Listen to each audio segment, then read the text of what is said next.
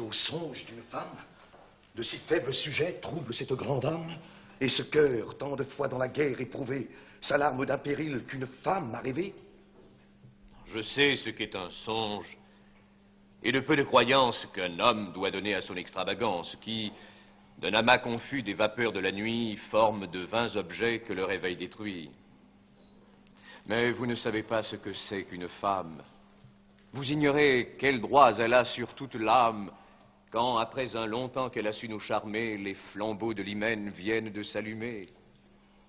Pauline, sans raison, dans la douleur plongée, craint et croit déjà voir ma mort qu'elle a songée. Elle oppose ses pleurs au dessein que je fais et tâche à m'empêcher de sortir du palais. Je méprise sa crainte et je cède à ses larmes. Elle me fait pitié sans me donner d'alarme et mon cœur attendri, sans être intimidé, n'ose déplaire aux yeux dont il est possédé. L'occasion, Néarque, est-elle si pressante qu'il faille être insensible au soupir d'une amante? Par un peu de remise, épargnons son ennui pour faire en plein repos ce qu'il trouble aujourd'hui. Avez-vous cependant une pleine assurance d'avoir assez de vie ou de persévérance? Et Dieu qui tient votre âme et vos jours dans sa main, promet-il à vos voeux de le pouvoir demain? Il est toujours tout juste et tout bon, mais sa grâce ne descend pas toujours avec même efficace. Après certains moments que perdent nos longueurs, elle quitte ces traits qui pénètrent les cœurs. Le nôtre s'endurcit, la repousse, l'égare. Le bras qu'il a versé en devient plus avare. Et cette sainte ardeur qu'il doit porter au bien tombe plus rarement ou ne perd plus rien. Celle qui vous pressait de courir au baptême, languissante déjà, cesse d'être la même. Et pour quelques soupirs qu'on vous a fait ouïr, sa flamme se dissipe et va s'évanouir. Vous me connaissez mal. La même ardeur me brûle. Et le désir s'accroît quand l'effet se recule. Ces pleurs que je regarde avec un œil d'époux me laissent dans le cœur aussi chrétien que vous. Mais pour en recevoir le sacré caractère qui lave nos forfaits dans une eau salutaire et qui, purgeant notre âme et dessillant nos yeux, nous rend le premier droit que nous avions aux cieux, bien que je le préfère aux grandeurs d'un empire comme le bien suprême et le seul où j'aspire, je crois, pour satisfaire un juste et saint amour, pouvoir un peu remettre et différer d'un jour. Ainsi, du genre humain, l'ennemi vous abuse. Ce qu'il ne peut de force, il l'entreprend de ruse. Jaloux des bons desseins qu'il tâche d'ébranler, quand il ne les peut rompre, il pousse à reculer. D'obstacle sur obstacle, il va troubler le vôtre. Aujourd'hui par des pleurs, chaque jour par quelque autre. Et ce songe rempli de noires visions n'est que le coup d'essai de ses illusions. Il met tout en usage, et prière, et menace. Il attaque toujours, et jamais ne se lasse. Il croit pouvoir enfin ce qu'encore il n'a pu, et que ce qu'on diffère est à demi rompu. Rompez ses premiers coups. Laissez pleurer Pauline. Dieu ne veut point un cœur où le monde domine, qui regarde en arrière et, douteux en son choix, lorsque sa voix l'appelle, écoute une autre voix. Pour se donner à lui, faut-il n'aimer personne? Nous pouvons tout aimer. Il le souffre. Il l'ordonne. Mais, à vous dire tout, ce Seigneur des Seigneurs veut le premier amour et les premiers honneurs. Comme rien n'est égal à sa grandeur suprême, il ne faut rien aimer qu'après lui, qu'en lui-même. Négligé pour lui plaire, et femme, et bien, et rang, exposé pour sa gloire, et verser tout son sang. Mais que vous êtes loin de cette ardeur parfaite qui vous est nécessaire et que je vous souhaite, je ne puis vous parler que les larmes aux yeux. Polyeucte, aujourd'hui qu'on nous hait en tout lieu, qu'on croit servir l'État quand on nous persécute, qu'au plus âpre tourment un chrétien est en but, comment en pourrez-vous surmonter les douleurs si vous ne pouvez pas résister à des pleurs? Vous ne m'étonnez point. La pitié qui me blesse sied bien au plus grand cœur et n'a point de faiblesse. Sur mes pareils, Néarque, un bel œil est bien fort. Tel craint de le fâcher qui ne craint pas la mort. Et s'il faut affronter les plus cruels supplices, y trouver des appâts, en faire mes délices, votre Dieu que je n'ose encore nommer le mien, m'en donnera la force en me faisant chrétien. Hâtez-vous donc de l'être. Oui, j'y cours, cher Néar, que je brûle d'emporter la glorieuse marque. Mais Pauline s'afflige et ne peut consentir tant ce songe la trouble à me laisser sortir. Votre retour, pour elle, en aura plus de charme. Dans une heure au plus tard, vous essuierez ses larmes. Et l'heure de vous revoir lui semblera plus doux, plus elle aura pleuré pour un si cher époux. Allons, on nous attend.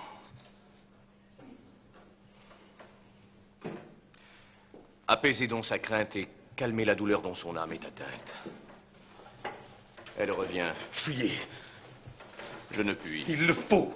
Fuyez un ennemi qui sait votre défaut, qui le trouve aisément, qui blesse par la vue, et dont le coup mortel vous plaît quand il vous tue.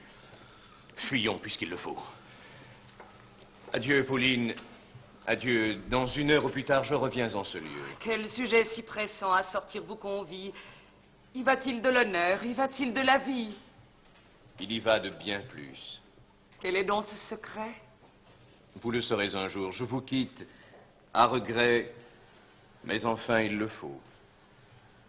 Vous m'aimez Je vous aime.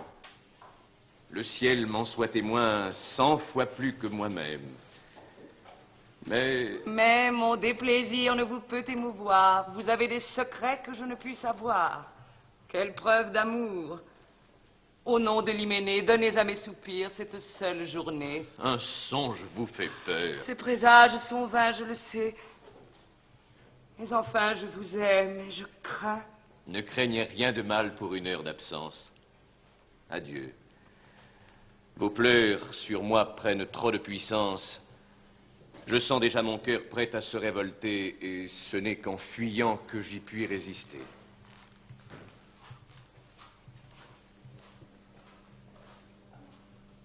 Va, néglige mes pleurs. Cours et te précipite au-devant de la mort que les dieux m'ont prédite. Suis cet agent fatal de tes mauvais destins qui peut-être te livre aux mains des assassins.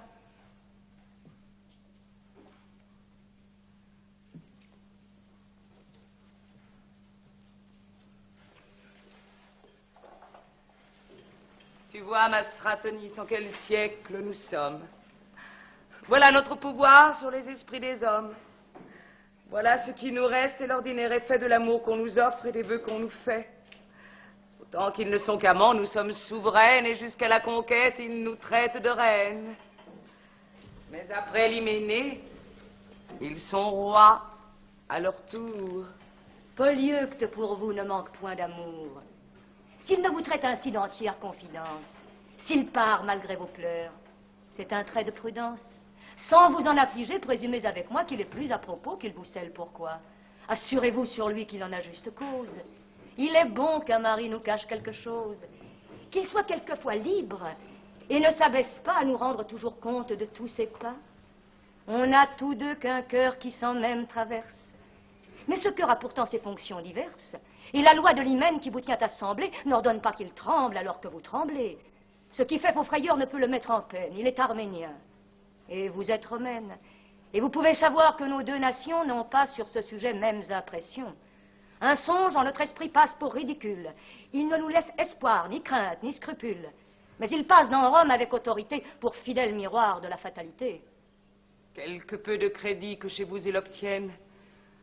Je crois que ta frayeur égalerait la mienne si de telles horreurs t'avaient frappé l'esprit. Si je t'en avais fait seulement le récit. À raconter ces mots souvent, on les soulage. Écoute. Mais il faut te dire davantage et que pour mieux comprendre un si triste discours, tu saches ma faiblesse et mes autres amours. Une femme d'honneur peut avouer sans honte ses surprises d'essence que la raison surmonte. Ce n'est qu'en ces assauts qu'éclate la vertu, et l'on doute d'un cœur qui n'a point combattu. Dans Rome où je naquis, ce malheureux visage d'un chevalier romain captiva le courage. Il s'appelait Sévère. Excuse les soupirs qu'arrache encore un nom trop cher à mes désirs. Et celui qui, naguère aux dépens de sa vie, sauva des ennemis votre empereur Décis, qui leur tira mourant la victoire des mains et fit tourner le sort des Perses aux Romains, lui, qu'entre tant de morts immolés à son maître, on ne put rencontrer, ou du moins reconnaître, à qui Décis, enfin, pour des exploits si beaux, fit si pompeusement dresser de vingt tombeaux Hélas, c'était lui-même. Et jamais notre Rome n'a produit plus grand cœur ni vu plus honnête homme.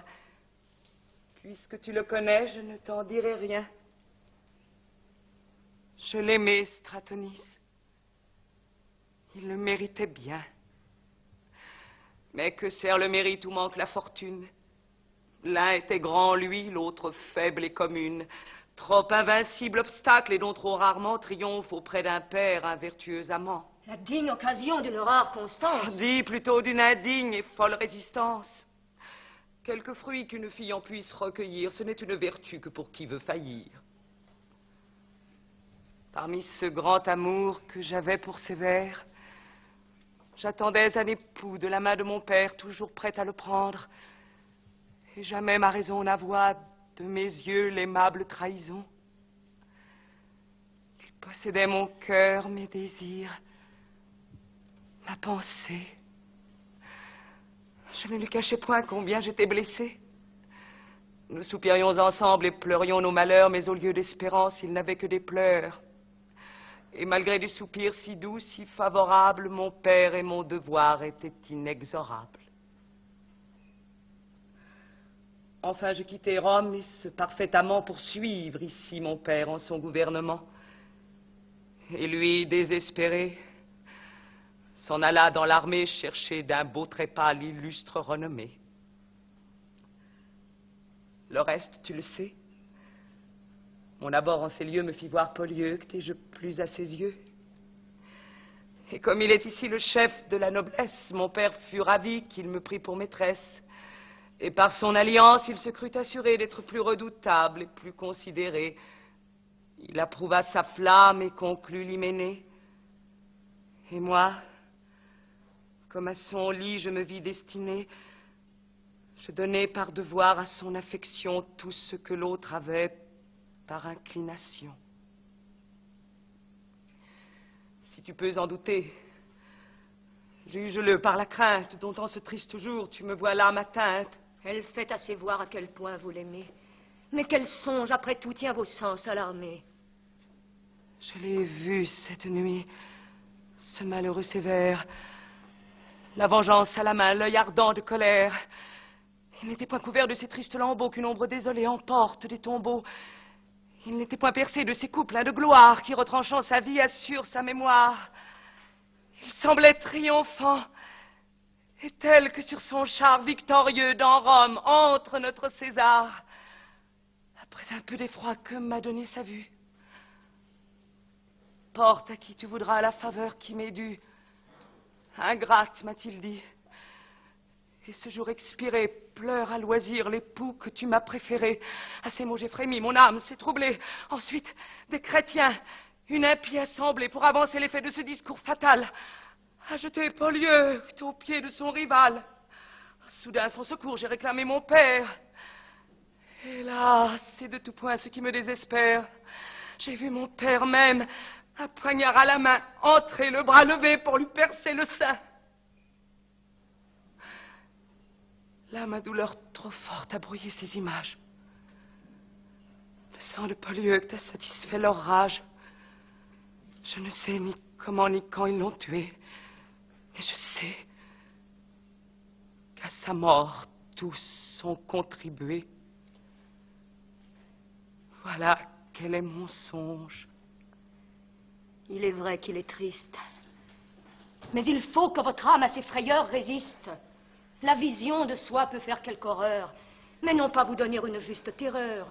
Pouvez-vous craindre un mort? Pouvez-vous craindre un père qui chérit votre époux, que votre époux révère? Et dont le juste choix vous a donné à lui pour s'en faire en ces lieux un ferme et sûr appui. Il m'en a dit autant et rit de mes alarmes. Mais je crains des chrétiens les complots et les charmes, et que sur mon époux leur troupeau ramassé ne venge tant de sang que mon père a versé. Leur secte est insensée, impie et sacrilège, et dans ses sacrifices use de sortilèges. Mais sa fureur ne va qu'à briser nos autels, elle n'en veut qu'aux dieux et non pas aux mortels Quelque sévérité que sur eux on déploie, ils souffrent sans murmure et meurent avec joie. Et depuis qu'on les traite en criminels d'État, on ne peut les charger d'aucun assassinat. Tais-toi, mon père, viens.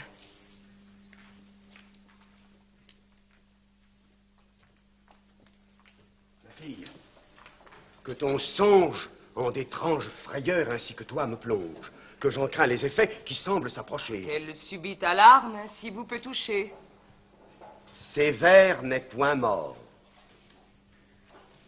Quel mal nous fait sa vie. Il est le favori de l'empereur des signes.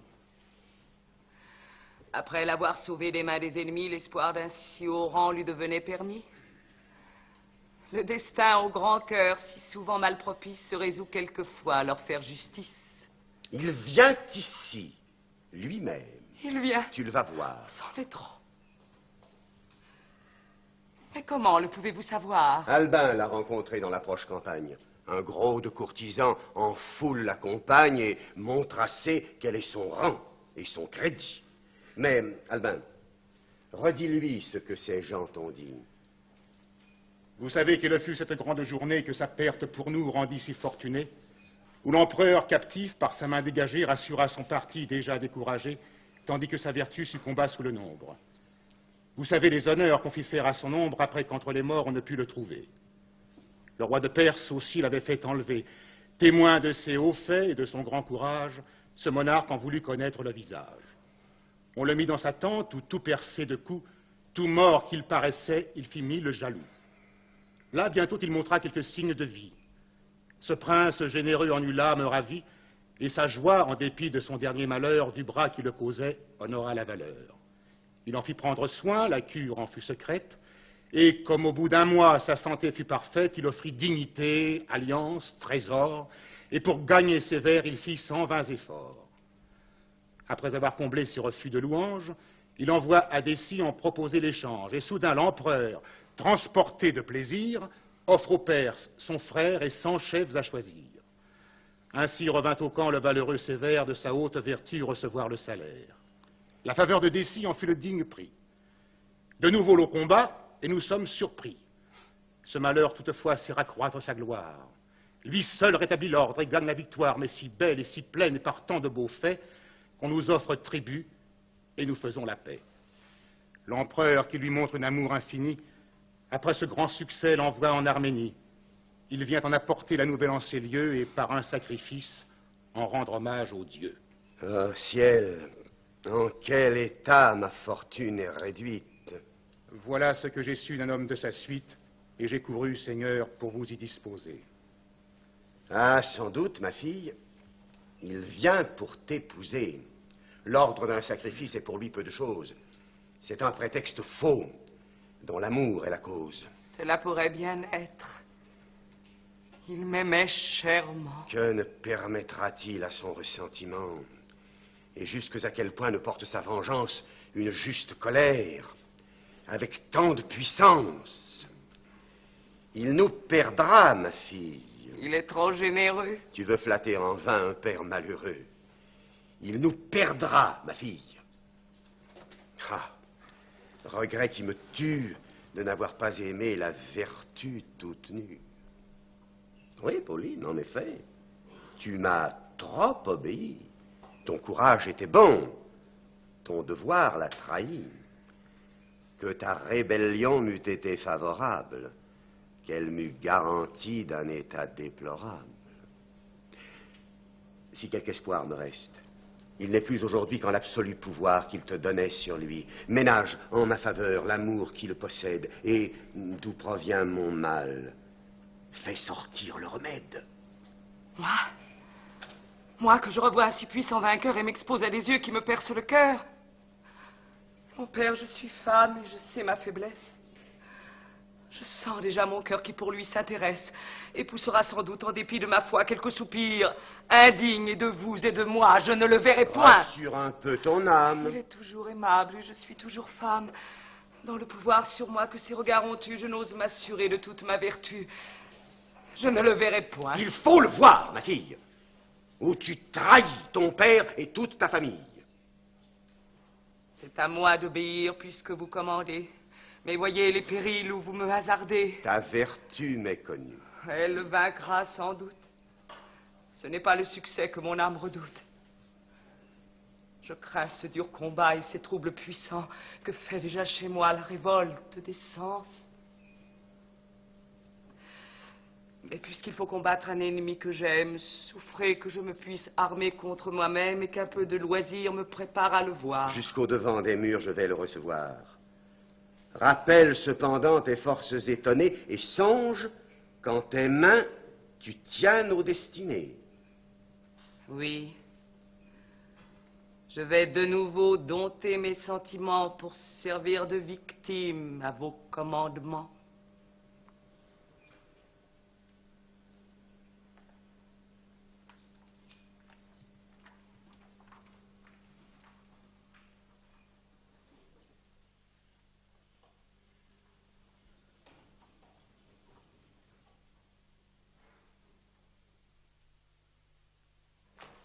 Pendant que Félix donne ordre au sacrifice, pourrais-je prendre un temps à mes voeux si propices? Pourrais-je voir Pauline et rendre à ses beaux yeux l'hommage souverain que l'on va rendre aux dieux ne t'ai point que c'est ce qui m'amène. Le reste est un prétexte à soulager ma peine.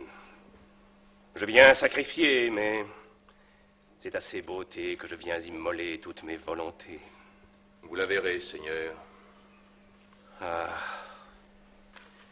quel comble de joie. Cette chère beauté qu'on sent que je la vois. Mais ai-je sur son âme encore quelques pouvoirs Quelques restes d'amour s'y fait-il encore voir? Quel trouble, quel transport lui cause ma venue? Puis-je tout espérer de cette heureuse vue? Car je voudrais mourir plutôt que d'abuser des lettres de faveur que j'ai pour l'épouser. Elles sont pour Félix, non pour triompher d'elle. Jamais à ses désirs mon cœur ne fut rebelle. Et si mon mauvais sort avait changé le sien, je me vaincrais moi-même et ne prétendrais rien. Vous la verrez, c'est tout ce que je vous puis dire. D'où vient que tu frémis et que ton cœur soupire? Ne m'aime-t-elle plus? Éclaircis-moi ce point. M'en croirez-vous, Seigneur Ne la revoyez point. Portez en lieu plus haut l'honneur de vos caresses. Vous trouverez à Rome assez d'autres maîtresses, et dans ce haut degré de puissance et d'honneur, les plus grands y tiendront votre amour à bonheur. T'as dépensé si bas mon âme se ravale? Que je tienne Pauline à mon sort inégal, elle en a mieux usé. Je la dois imiter. Je n'aime mon bonheur que pour la mériter. Voyons là, Fabien, ton discours m'apportune. Allons mettre à ses pieds cette haute fortune. Je l'ai dans les combats trouvé heureusement en cherchant une mort digne de son amant. Ainsi ce rang est sien, cette faveur est sienne. Et je n'ai rien, enfin, que d'elle je ne tienne. Non, mais encore un coup, ne la revoyez point. C'en est trop. Enfin, éclaircis-moi ce point. As-tu vu des froideurs quand tu l'en as prié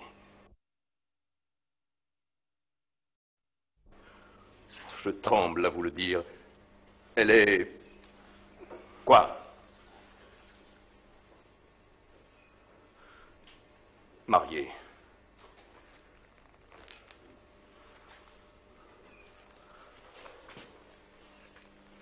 Soutiens-moi, Fabien. Ce coup de foudre est grand. Il frappe d'autant plus que plus il me surprend. Seigneur, qui est devenu ce généreux courage? La constance est ici d'un difficile usage. De pareils déplaisirs accablent un grand cœur. La vertu la plus mâle en perd toute vigueur. Et quand d'un feu si beau les âmes sont éprises, la mort les trouble moins que de telles surprises. Je ne suis plus à moi quand j'entends ce discours. Pauline est mariée Oui, depuis quinze jours. Polyeucte, un seigneur des premiers d'Arménie, goûte de son hymen la douceur infinie. Ne l'appuie du moins blâmer d'un mauvais choix. Polyeucte a du nom et sort du sang des rois.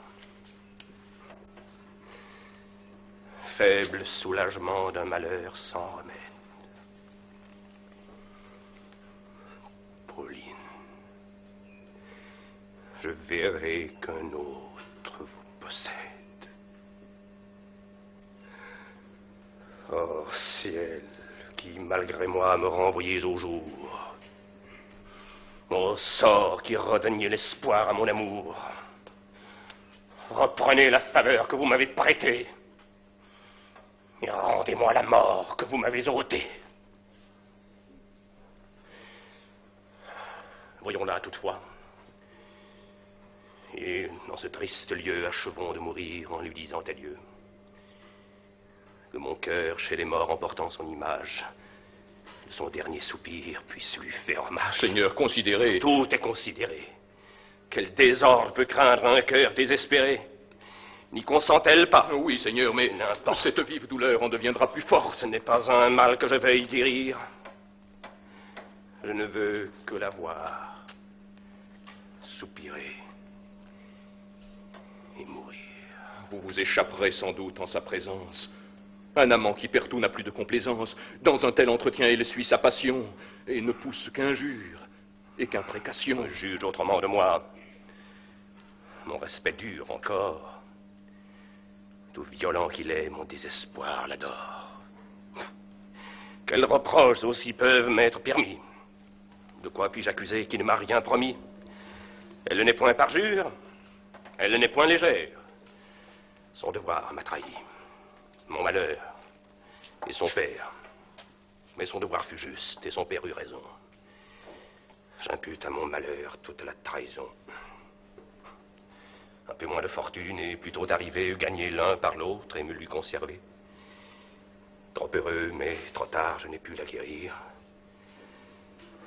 Laisse-la moi donc voir, soupirer et mourir. Oui, je vais l'assurer qu'en ce malheur extrême, vous êtes assez fort pour vous vaincre vous-même. Elle a craint, comme moi, ces premiers mouvements qu'une perte imprévue arrache aux vrais amants, et dont la violence excite assez de troubles sans que l'objet présent l'irrite et le redouble. Fabian, je. Seigneur, souvenez-vous, Hélas, elle aime un autre, un autre et son époux. Oui, je l'aime, Seigneur, et n'en fais point d'excuse. Que tout autre que moi vous flatte et vous abuse, Pauline à l'âme noble et parle à cœur ouvert. Le bruit de votre mort n'est point ce qui vous perd. Si le ciel en mon choix eût mis mon hyménée, à vos seules vertus je me serais donné, et toute la rigueur de votre premier sort contre votre mérite eût fait un vain effort. Je découvrais en vous d'assez illustres marques pour vous préférer même au plus heureux monarque. Mais puisque mon devoir m'imposait d'autres lois, de quelque amant pour moi que mon père eût fait choix, quant à ce grand pouvoir que la valeur vous donne, vous auriez ajouté l'éclat d'une couronne. Quand je vous aurais vu, quand je l'aurais haï, j'en aurais soupiré, mais j'aurais obéi. Et sur mes passions, ma raison souveraine eût blâmé mes soupirs et dissipé ma haine. Que vous êtes heureuse. Et qu'un peu de soupir fait un aisé remède à tous vos déplaisirs. Ainsi, de vos désirs, toujours reine absolue, les plus grands changements vous trouvent résolus. De la plus forte ardeur, vous portez vos esprits jusqu'à l'indifférence et peut-être au mépris. Et votre fermeté fait succéder sans peine la faveur au dédain et l'amour à la haine. Qu'un peu de votre humeur ou de votre vertu soulagerait les maux de ce cœur abattu. Un soupir, une larme à regret épandu m'aurait déjà guéri de vous avoir perdu. Ma raison pourrait tout sur l'amour affaibli et de l'indifférence irait jusqu'à l'oubli. Et mon feu, désormais se réglant sur le vôtre, je me tiendrais heureux entre les bras d'une autre. Oh, trop aimable objet qui m'avait trop charmé.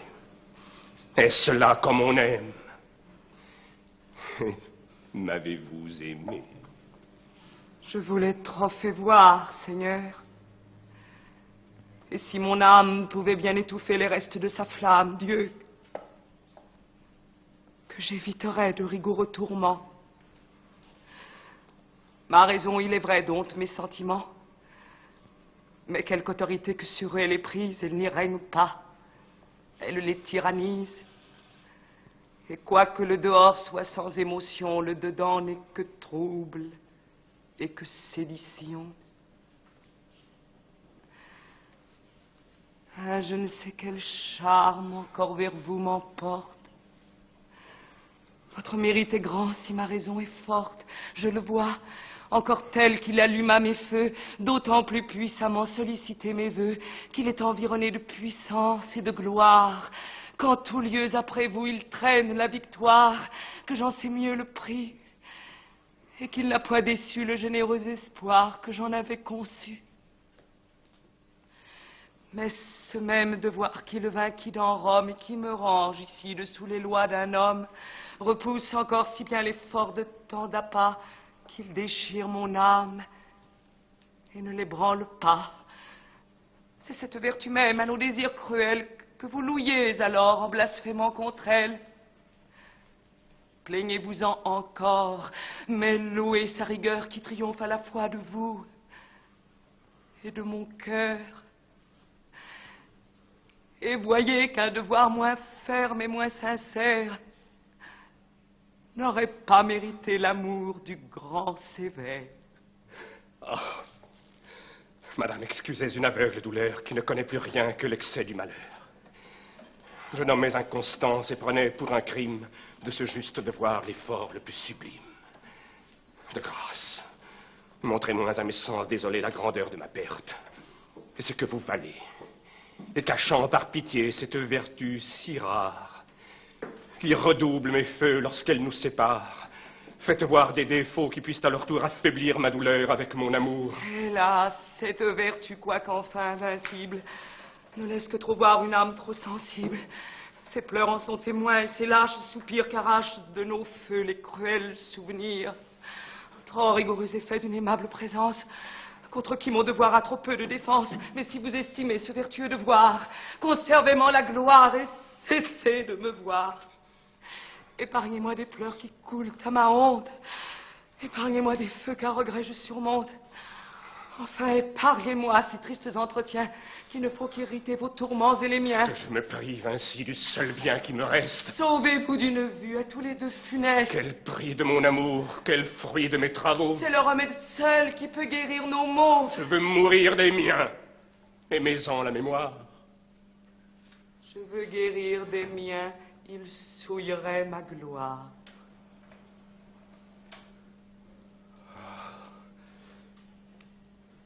Puisque votre gloire prononce l'arrêt, il faut que ma douleur cède à son intérêt. N'est-il rien que sur moi cette gloire n'obtienne Elle me rend les soins que je dois à la mienne.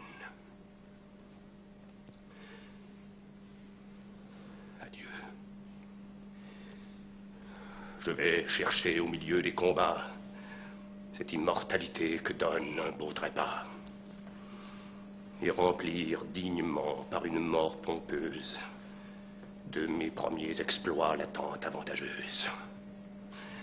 Si toutefois, après ce coup mortel du sort, j'ai de la vie assez pour chercher une mort. Et moi, dans votre vue, augmente le supplice. Je l'éviterai même en votre sacrifice. Et seul dans ma chambre, enfermant mes regrets, je vais pour vous, ô Dieu, faire des vœux secrets. Puisse le juste ciel, content de ma ruine, combler d'heures et de jours Polyeuque et Pauline. Puisse trouver sévère tant de malheurs une félicité digne de sa valeur.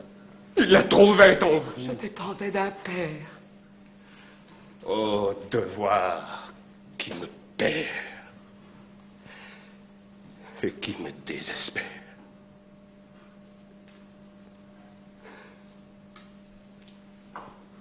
Adieu, trop vertueux objet et trop charmant. Adieu. Trop malheureux et trop parfait amant.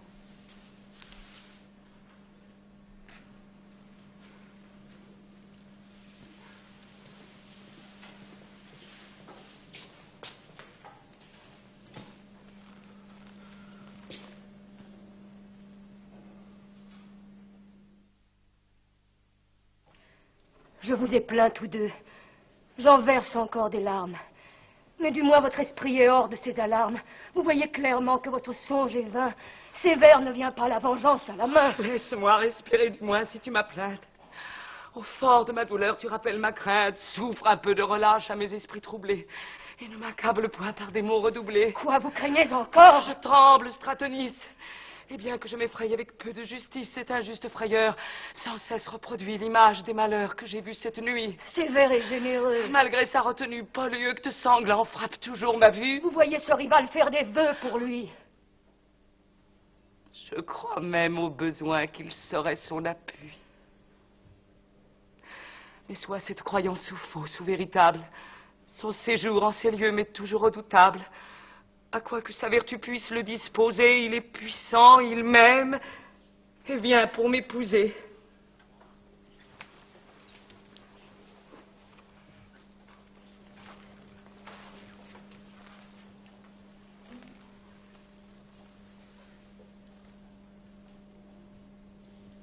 C'est trop versé de pleurs. Il est temps qu'il tarisse. Que votre douleur cesse et vos craintes finissent, malgré les faux avis par vos dieux envoyés. Je suis vivant, madame. Et vous me revoyez. Le jour est encore long. Et ce qui plus m'effraie, la moitié de la vie se trouve déjà vrai. J'ai cru sévère mort et je le vois ici. Je le sais. Mais enfin, j'en prends peu de soucis. Je suis dans Mélitène et, quel que soit sévère, votre père y commande et l'on m'y considère. Et je ne pense pas qu'on puisse, avec raison d'un cœur tel que le sien, craindre une trahison. On m'avait assuré qu'il vous faisait visite et je venais lui rendre un honneur qu'il mérite. Il vient de me quitter assez triste et confus. Et j'ai gagné sur lui qu'il ne me verra plus. Quoi? Vous me soupçonnez déjà de quelque ombrage Je ferais à tous trois un trop sensible outrage. J'assure mon repos que troublent ses regards. La vertu la plus ferme évite les hasards qui s'exposent au péril, veut bien trouver sa perte. Et pour vous en parler avec une âme ouverte, depuis qu'un vrai mérite a pu nous enflammer, sa présence toujours a droit de nous charmer. Outre qu'on doit rougir de s'en laisser surprendre, on souffre à résister, on souffre à s'en défendre. Et bien que la vertu triomphe de ses feux, la victoire est pénible. Et le combat honteux. Oh, vertu trop parfaite et devoir trop sincère,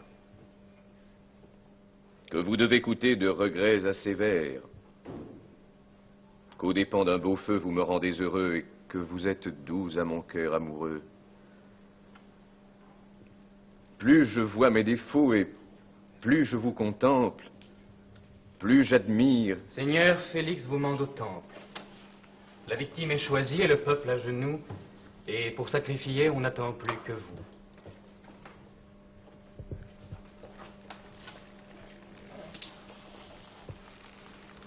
Va.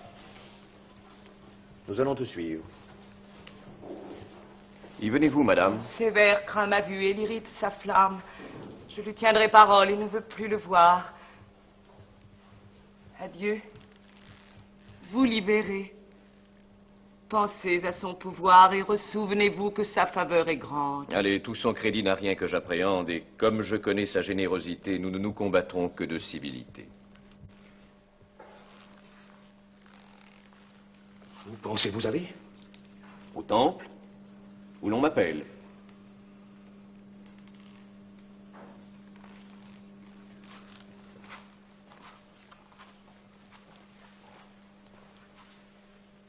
Quoi Vous mêlez au vœu d'une troupe infidèle? Oubliez-vous déjà que vous êtes chrétien? Vous, par qui je le suis, vous en souvient-il bien? J'abhorre les faux dieux. Et moi, je les déteste. Je tiens leur culte impie. Et je le tiens funeste. Fuyez donc leurs hôtels. Je les veux renverser et mourir dans leur temple ou les y terrasser. Allons, mon cher Néarque. Allons, aux yeux des hommes, braver l'idolâtrie et montrer qui nous sommes. C'est l'attente du ciel. Il nous la faut remplir. Je viens de le promettre et je vais l'accomplir. Je rends grâce au Dieu que tu m'as fait connaître de cette occasion qui laisse cette fenêtre, où déjà sa bonté prête à me couronner daigne éprouver la foi qu'il vient de me donner. Ce zèle est trop ardent. Souffrez qu'il se modère. On en peut trop avoir pour le Dieu qu'on révère. Vous trouverez la mort. Je la cherche pour lui. Et si ce cœur s'ébranle Il sera mon appui. Il ne commande point que l'on s'y précipite. Plus elle est volontaire et plus elle mérite. Il suffit sans chercher d'attendre et de souffrir. Souffre avec regret quand on ose s'offrir. Mais dans ce temple, enfin, la mort est assurée. Mais dans le ciel déjà la palme est préparée. Par une sainte vie, il faut la mériter. Mes crimes, en vivant, me la pourraient ôter. Pourquoi mettre au hasard ce que la mort assure Quand elle ouvre le ciel, peut-elle sembler dure Je suis chrétien, Néarque, et le suis tout à fait. La foi que j'ai reçue aspire à son effet. Qui fuit, croit lâchement et n'a qu'une foi morte. Ménagez votre vie. À Dieu même, et n'importe. Vivez pour protéger les chrétiens en ces lieux. L'exemple de ma mort les fortifiera mieux. Vous voulez donc mourir Vous aimez donc à vivre Je ne puis déguiser que j'ai peine à vous suivre. Sous l'horreur des tourments, je crains de succomber. Qui marche assurément n'a point peur de tomber. Dieu fait part au besoin de sa force infinie. Qui craint de le nier, dans son âme le nie. Il croit le pouvoir faire et doute de sa foi. Qui n'appréhende rien, présume trop de soi. J'attends tout de sa grâce et rien de ma faiblesse. Mais loin de me presser, il faut que je vous presse. D'où vient cette froideur? Dieu même a craint la mort. Il s'est offert pourtant. Suivons ce saint effort. Dressons-lui des autels sur des monceaux d'idoles. Il faut. Je me souviens encore de vos paroles. Négliger pour lui plaire et femme et bien errant, exposer pour sa gloire et verser tout son sang. Hélas, qu'avez-vous fait de cette ardeur parfaite que vous me souhaitiez et que je vous souhaite? S'il vous en reste encore, n'êtes-vous point jaloux qu'à grand-peine chrétien j'en montre plus que vous? Vous sortez du baptême, et ce qui vous anime, c'est sa grâce quand vous n'affaiblît aucun crime. Comme encore tout entière, elle agit pleinement et tout semble possible à son feu véhément. Mais cette même grâce, en moi diminuée par mille péchés sans cesse exténués, agit aux grands effets avec tant de langueur que tout semble impossible à son peu de vigueur. C'est indigne mollesse et ses lâches défenses sont des punitions qu'attirent mes offenses. Mais Dieu, dont on ne doit jamais se défier, me donne votre exemple à me fortifier. Allons, cher Polyocte, allons aux yeux des hommes braver l'idolâtrie et montrer qui nous sommes. Puissé-je vous donner l'exemple de souffrir comme vous me donnez celui de vous offrir. À cet heureux transport que le ciel vous envoie, je reconnais Néarque. Et j'en pleure de joie. Ne perdons point de temps. Le sacrifice est prêt. Allons-y, du vrai Dieu soutenir l'intérêt. Allons fouler aux pieds ce foudre ridicule dont arme un bois pourri ce peuple trop crédule. Allons en éclairer l'aveuglement fatal. Allons briser ces dieux de pierre et de métal. Abandonnons nos jours à cette ardeur céleste. Faisons triompher Dieu. Qu'il dispose du reste. Allons faire éclater sa gloire aux yeux de tous. Allons mourir pour lui, comme il est mort pour nous.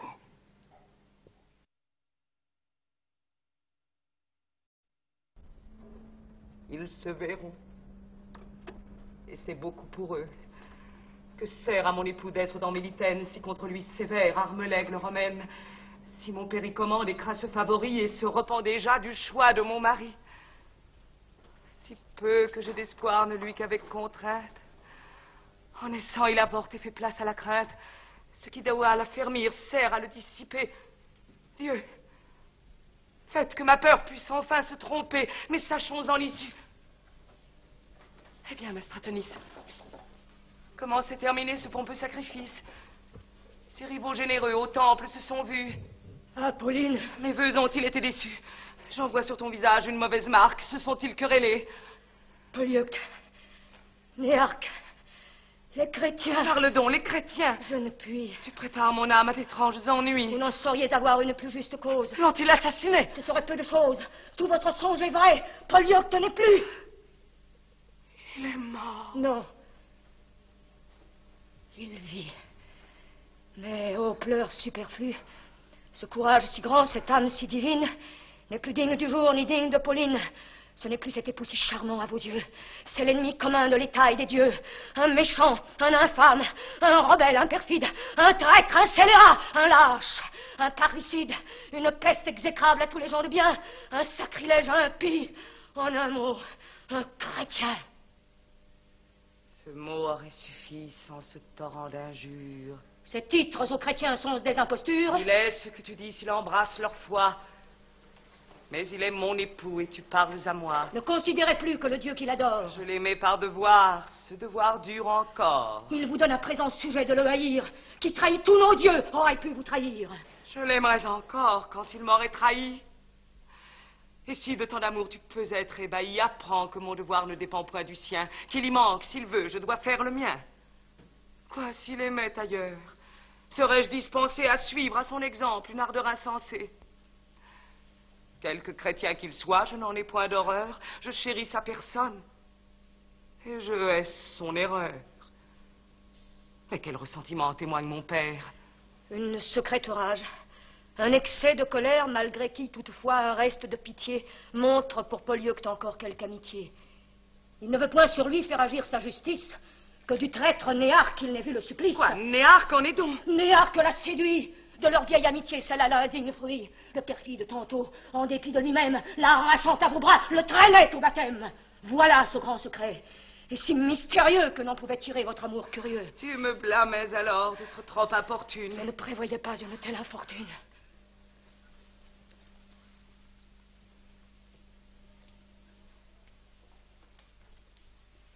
Avant qu'abandonner mon âme à ces douleurs, il me faut essayer la force de mes pleurs. En qualité de femme ou de fille, j'espère qu'ils vaincront un époux, fléchiront un père. Que si sur l'un et l'autre il manque de pouvoir, je ne prendrai conseil que de mon désespoir. Apprends-moi cependant ce qu'ils ont fait au temple.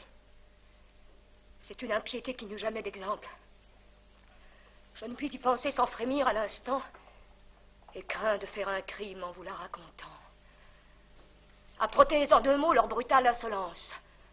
Le prêtre avait à peine obtenu du silence et de vers l'Orient assurer son aspect qu'ils ont fait éclater leur manque de respect. À chaque occasion de la cérémonie, à l'envie, l'un et l'autre étalaient sa manie. Des mystères sacrés hautement se moquaient et traitaient de mépris les dieux qu'on invoquait. Tout le peuple en murmure, et Félix sans offense. Mais tous deux s'emportant à plus dire révérence. Quoi lui dit Polyeucte en élevant la voix. Adorez-vous des dieux, ou de pierre, ou de bois? Ici, dispensez-moi du récit des blasphèmes qu'ils ont vomi tous deux contre Jupiter même. L'adultère et l'inceste en étaient les plus doux. Voyez, dit-il ensuite, voyez peuple, voyez tous, le dieu de Polyeucte est celui de Néarque, de la terre et du ciel est l'absolu monarque, seul être indépendant, seul maître du destin, seul principe éternel et souveraine fin. C'est ce dieu des chrétiens qu'il faut qu'on remercie des victoires qu'il offre à l'empereur d'Essie. Lui seul tient dans sa main le succès des combats, il le peut élever, il le peut mettre à bas, sa bonté, son pouvoir, sa justice est immense, c'est lui seul qui punit, lui seul qui récompense. Vous adorez en vain des monstres impuissants. Se jetant à ces mots, sur le vin et l'encens, après en avoir mis les saints vases par terre, sans crainte de Félix, Sans crainte du tonnerre, d'une fureur pareille, ils courent à l'autel. Cieux, a-t-on vu jamais a-t-on rien vu de tel Du plus puissant des dieux, nous voyons la statue, par une main impie, à leurs pieds abattus. Les mystères troublés, le temple profané, la fuite et les clameurs d'un peuple mutiné qui craint d'être accablé sous le courroux céleste. Félix, mais le voici qui vous dira le reste. Que son visage est sombre et plein d'émotion, qu'il montre de tristesse et d'indignation. Quelle insolence avoir osé paraître en public, à ma vue. Il en mourra, le traître. Je ferai que votre fille embrasse vos genoux. Je parle de Néarque et non de votre époux. Quelque indigne qu'il soit de ce doux nom de gendre, mon âme lui conserve un sentiment plus tendre. La grandeur de son crime et de mon déplaisir n'a pas éteint l'amour qui me l'a fait choisir. Je n'attendais pas moins de la bonté d'un père. Je pouvais l'immoler à ma juste colère. Car vous n'ignorez pas à quel comble d'horreur de son audace impie a monté la fureur. Vous l'avez pu savoir du moins de Stratonis. Je sais que de Néarque, il doit voir le supplice. Du conseil qu'il doit prendre, il sera mieux instruit quand il verra punir celui qui l'a séduit. Au spectacle sanglant d'un ami qu'il faut suivre, la crainte de mourir et le désir de vivre ressaisissent une âme avec tant de pouvoir que qui voit le trépas cesse de le vouloir. L'exemple touche plus que ne fait la menace. Cette indiscrète ardeur tourne bientôt en glace, et nous verrons bientôt son cœur inquiété me demander pardon de tant d'impiété. Vous pouvez espérer qu'il change de On courage. dépend de Néarque, il doit se rendre sage. Il le doit. Mais hélas, où me renvoyez-vous Et quel triste hasard ne coupe pas mon époux si de son inconstance. Il faut qu'enfin j'espère le bien que j'attendais de la bonté d'un père. Je vous en fais trop voir, Pauline, à consentir qu'il évite la mort par un prompt repentir. Je devais même peine à des crimes semblables. Et, mettant différence entre les deux coupables, j'ai trahi la justice à l'amour paternel. Je me suis fait pour lui moi-même criminel. Et j'attendais de vous, au milieu de vos craintes, plus de remerciements que je n'entends de plainte. De quoi remercier qui ne me donne rien? Je sais quelle est l'humeur et l'esprit d'un chrétien.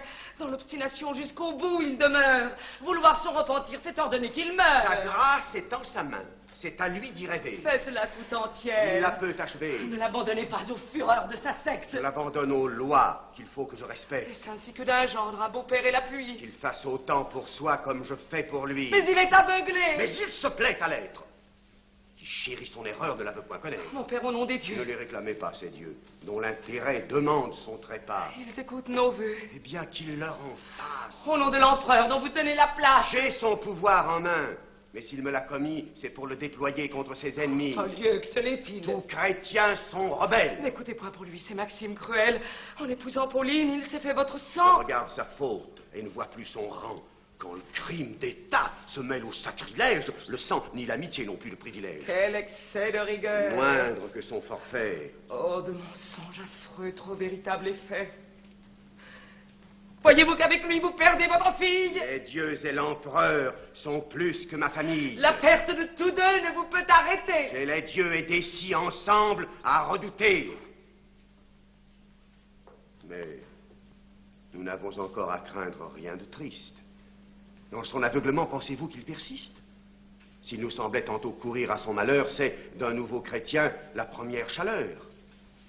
Si vous l'aimez encore, quittez cette espérance que deux fois en un jour il change de croyance, outre que les chrétiens ont plus de dureté. Vous attendez de lui trop de légèreté. Ce n'est point une erreur avec le lait sucé que sans l'examiner son âme est embrassée. Polyeucte est chrétien parce qu'il l'a voulu, et vous portez au temple un esprit résolu. Vous devez présumer de lui comme du reste. Le trépas n'est pour eux ni honteux ni funeste. Ils cherchent de la gloire à mépriser nos dieux. Aveugles pour la terre, ils aspirent aux cieux. Et croyant que la mort leur en ouvre la porte, tourmentés, déchirés, assassinés, n'importe. Les supplices leur sont ce qu'à nous les plaisirs, et les mènent au but où tendent leurs désirs. La mort la plus infâme, ils l'appellent martyr. Eh bien donc, Polyeucte aura ce qu'il désire. N'en parlons plus. Mon père, Albin, en est-ce fait Oui, Seigneur. Et Néarque a payé son forfait. Et notre Polyeucte a vu trancher sa vie? Il l'a vu. Mais hélas, avec un œil d'envie, il brûle de le suivre au lieu de reculer. et son cœur s'affermit au lieu de s'ébranler. Je vous le disais bien, encore un coup, mon père. Si jamais mon respect a pu vous satisfaire, si vous l'avez prisé, si vous l'avez chéri. Vous aimez trop, Pauline, un indigne mari. Je l'ai de votre main. Mon amour est sans crime. Il est de votre choix la glorieuse estime. Et j'ai, pour l'accepter, éteint le plus beau feu qui d'une âme bien née méritait l'aveu. Au nom de cette aveugle et prompte obéissance que j'ai toujours rendue aux lois de ma naissance, si vous avez pu tout sur moi, sur mon amour, que je puisse sur vous quelque chose à mon tour, par ce juste pouvoir à présent trop à craindre, par ces beaux sentiments qu'il m'a fallu contraindre. Ne montez point vos dons, ils sont chers à mes yeux, et m'ont assez coûté pour m'être précieux. Vous m'importunez trop. Quoique j'aie un cœur tendre, je n'aime la pitié qu'au prix que j'en veux prendre. Employez mieux l'effort de vos justes douleurs. Malgré moi, m'en toucher, c'est perdre temps et pleurs. J'en veux être le maître. Et je veux bien qu'on sache que je la désavoue alors qu'on me l'arrache. Préparez-vous à voir ce malheureux chrétien et faites votre effort quand j'aurai fait le mien. Allez, n'irritez plus un père qui vous aime et tâchez d'obtenir votre époux de lui-même. Tantôt jusqu'en ce lieu je le ferai venir. Cependant, quittez-nous, je veux l'entretenir. De grâce, permettez. Laissez-nous seuls, vous dis-je.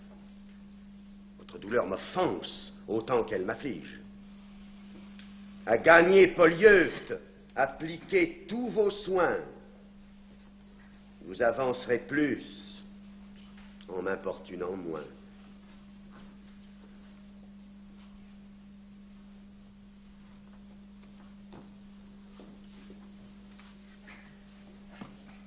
Albin, comme est-il mort? En brutal, en impie, en bravant les tourments, en dédaignant la vie sans regret, sans murmure et sans étonnement, dans l'obstination et l'endurcissement, comme un chrétien, enfin, le blasphème à la bouche. Et l'autre?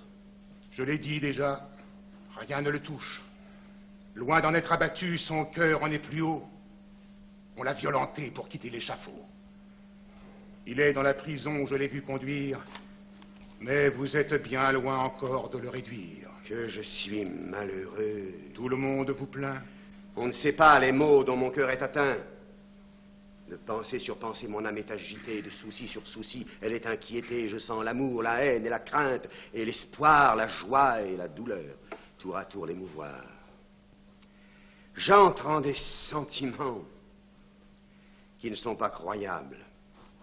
J'en ai de violents, j'en ai de pitoyables, j'en ai de généreux qui n'oseraient agir, j'en ai même de bas et qui me font rougir. J'aime ce malheureux que j'ai choisi pour gendre. Je l'aveugle erreur qui le vient de surprendre. Je déplore sa perte, et voulant le sauver, j'ai la gloire des dieux ensemble à conserver. Je redoute leur foudre et celui de Désir. Il y va de ma charge.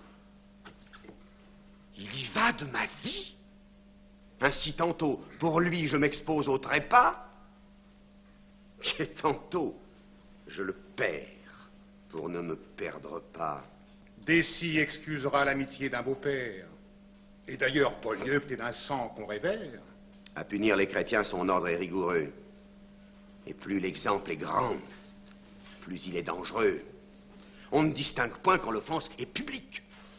Et quand on dissimule un crime domestique, par quelle autorité peut-on, par quelle loi châtier en autrui ce qu'on souffre chez soi? Si vous n'osez avoir d'égard à sa personne, écrivez à Dessy afin qu'il en ordonne. Ces vers me perdraient si j'en usais ainsi. Sa haine et son pouvoir font mon plus grand souci. Si j'avais différé de punir un tel crime, quoi qu'il soit généreux, quoi qu'il soit magnanime, il est homme et sensible. Et je l'ai dédaigné. Et de tant de mépris son esprit indigné que met au désespoir cet hymen de Pauline, du courroux de Dessy, obtiendrait ma ruine. Pour venger un affront, tout semble être permis. Et les occasions tentent les plus remis. Peut-être. Et ce soupçon n'est pas sans apparence. Il rallume en son cœur déjà quelque espérance. Et croyant bientôt voir Polyeucte puni, il rappelle un amour à grand-peine banni. Juge si sa colère, en ce cas implacable, me ferait innocent de sauver un coupable. Et s'il m'épargnerait, voyant par mes pensées une seconde fois ses desseins avortés. Te dirais-je un pensée indigne, et lâche. Je l'étouffe. Il renaît. Il me flatte et me fâche. L'ambition toujours me le vient présenter. Et tout ce que je puis, c'est de le détester. Polyeucte est ici l'appui de ma famille. Mais si, par son trépas, l'autre épousait ma fille, j'acquerrais bien par là de plus puissants appuis qui me mettraient plus haut, cent fois que je ne suis. Mon cœur en prend par force une maligne joie. Mais, plutôt le ciel à tes yeux me foudroie qu'à des pensées si bas je daigne consentir que jusque-là ma gloire ose se démentir. Votre cœur est trop bon et votre âme trop haute. Mais vous résolvez-vous à punir cette faute Je vais dans la prison faire tout mon effort à vaincre cet esprit par l'effroi de la mort et, et nous verrons après ce que pourra Pauline. Que ferez-vous enfin si toujours il Ne s'obstine me presse point tant. Dans un tel déplaisir, je ne puis que résoudre et ne sais que choisir. Je dois vous avertir en serviteur fidèle qu'en sa faveur déjà la ville se rebelle et ne peut voir passer par la rigueur des lois sa dernière espérance et le sang de ses rois. Je tiens sa prison même assez mal assurée. J'ai laissé tout autour une troupe éplorée. Je crains qu'on ne la force. Faut donc l'en tirer et l'amener ici pour nous en assurer. Tirez-l'en donc vous-même et d'un espoir de grâce apaiser la fureur de cette populace. Allons. Et s'il persiste à demeurer chrétien, nous en disposerons sans qu'elle en sache rien.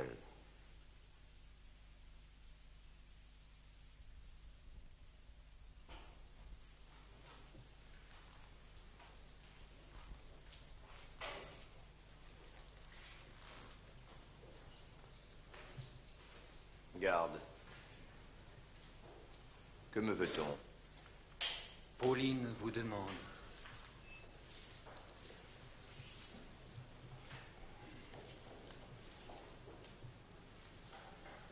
Ô présence.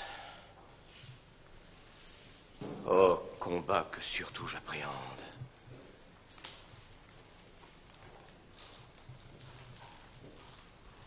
Félix, dans la prison j'ai triomphé de toi, j'ai ri de ta menace et t'ai vu sans effroi. Tu prends pourtant venger de plus puissantes armes. Je craignais beaucoup moins tes bourreaux que ces larmes. Seigneur, qui vois ici les périls que je cours, en ce pressant besoin redouble ton secours.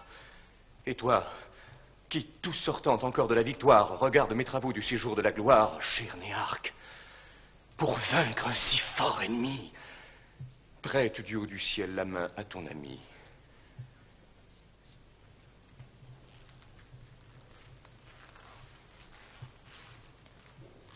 Garde, oseriez-vous me rendre un bon office Non, pour me dérober aux rigueurs du supplice, ce n'est pas mon dessein qu'on me fasse évader. Mais comme il suffira de trois à me garder, l'autre m'obligerait d'aller quérir sévère. Je crois que sans péril on peut me satisfaire. Si j'avais pu lui dire un secret important, il vivrait plus heureux et je mourrais content. Si vous me l'ordonnez, j'y cours en diligence. Sévère, à mon défaut, fera ta récompense. Va, ne perds point de temps et reviens promptement. Je serai de retour, Seigneur, dans un moment.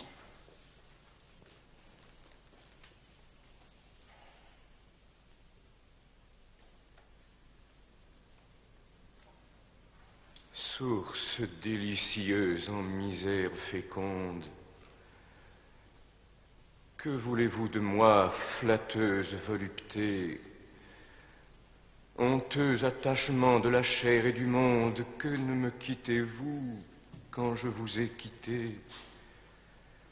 Allez, honneur, plaisir qui me livrez la guerre, toute votre félicité, sujette à l'instabilité, en moins de rien tombe par terre.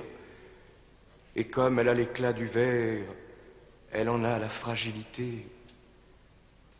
Ainsi, n'espérez pas qu'après vous je soupire.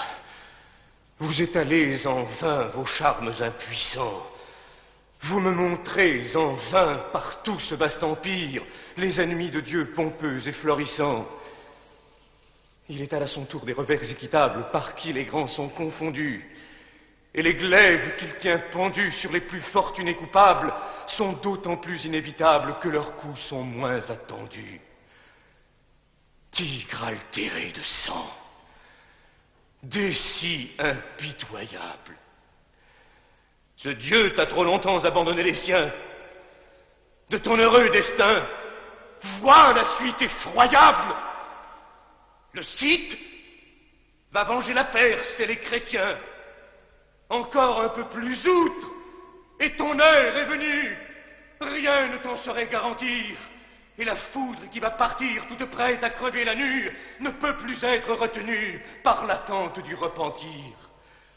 Que cependant Félix m'immole à ta colère, qu'un rival plus puissant éblouisse ses yeux, qu'aux dépens de ma ville s'en fasse beau-père et qu'à titre d'esclave il commande en ces lieux, je consens, ou plutôt j'aspire à ma ruine. Monde, pour moi tu n'as plus rien. Je porte en un cœur tout chrétien une flamme toute divine, et je ne regarde Pauline que comme un obstacle à mon bien. Sainte douceur du ciel, adorables idées, vous remplissez un cœur qui vous peut recevoir. De vos sacrés attraits, les âmes possédées ne conçoivent plus rien qui les puisse émouvoir. Vous promettez beaucoup et donnez davantage. Vos biens ne sont point inconstants.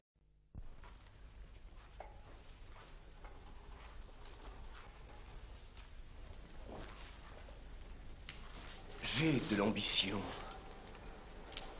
mais plus noble et plus belle. Cette grandeur périt, j'en veux une immortelle. Un bonheur assuré, sans mesure et sans fin, au-dessus de l'envie, au-dessus du destin. Est-ce trop l'acheter que d'une triste vie qui, tantôt, qui soudain me peut être ravie, qui ne me fait jouir que d'un instant qui fuit et ne peut m'assurer de celui qui le suit Voilà de vos chrétiens les ridicules songes. Voilà jusqu'à quel point vous charment leurs mensonges.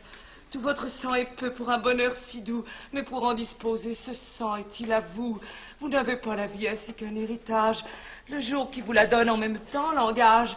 Vous la devez au prince, au public, à l'État. Je la voudrais pour perdre dans un combat. Je sais quelle en est l'heure et quelle en est la gloire.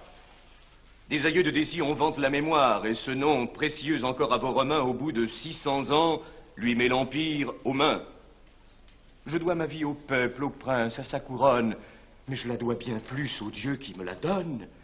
Si mourir pour son prince est un illustre sort, quand on meurt pour son Dieu, quelle sera la mort? Quel Dieu? Tout beau, Pauline. Il entend vos paroles. Et ce n'est pas un Dieu comme vos dieux frivoles, insensibles et sourds, impuissants, mutilés, de bois, de marbre ou d'or, comme vous les voulez. C'est le Dieu des chrétiens. C'est le mien c'est le vôtre. Et la terre et le ciel n'en connaissent point d'autre. Adorez-le dans l'âme et n'en témoignez rien. Que je sois tout ensemble idolâtre et chrétien. Ne feignez qu'un moment, laissez partir ces vers et donnez lieu d'agir aux bontés de mon père. Les bontés de mon Dieu sont bien plus à chérir.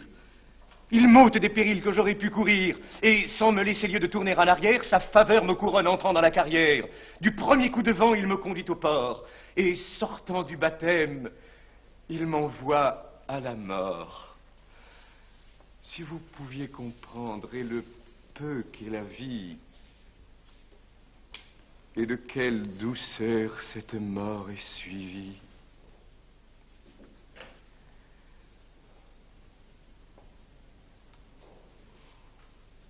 Mais que sert de parler de ces trésors cachés à des esprits que Dieu n'a pas encore touchés? Cruel Car il est temps que ma douleur éclate et qu'un juste reproche accable une âme ingrate. Est-ce qu'à ce beau feu sont cela tes serments Témoignes-tu pour moi les moindres sentiments Je ne te parlais point de l'état déplorable où ta mort va laisser ta femme inconsolable. Je croyais que l'amour t'en parlerait assez. Je, ne voulais pas de sentiments forcés. Mais cet amour si ferme et si bien mérité que tu m'avais promise et que je t'ai porté. Quand tu me veux quitter, quand tu me fais mourir, te peut-elle arracher une larme, un soupir? Tu me quittes, ingrat, et le fais avec joie, tu ne la caches pas. Tu veux que je la voie, et ton cœur insensible à ces tristes appâts se figure un bonheur où je ne serai pas. C'est donc là le dégoût qu'apporte l'hyménée. Je te suis odieuse après m'être donné.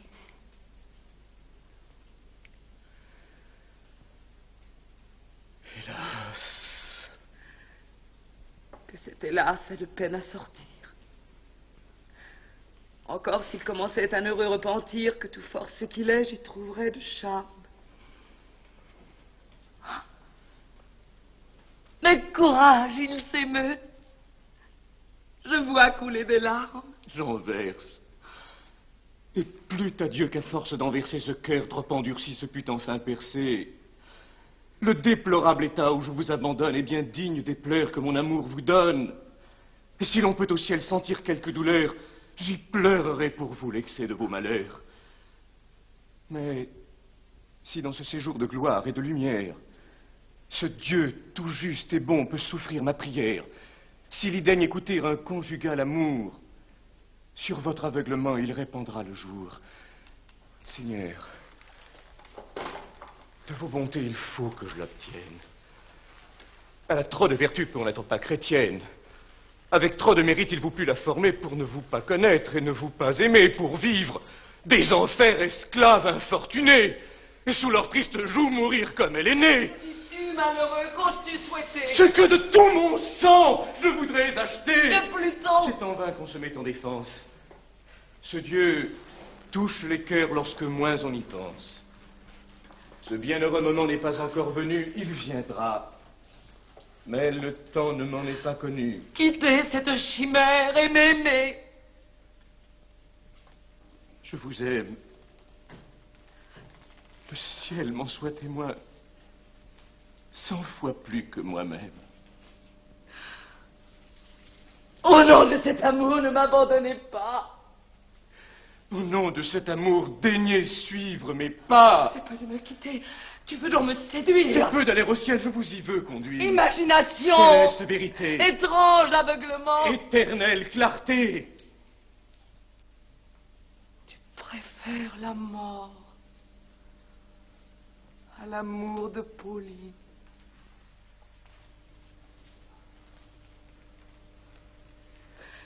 Vous préférez le monde à la bonté divine. Va, cruel. Va mourir. Tu ne m'aimas jamais.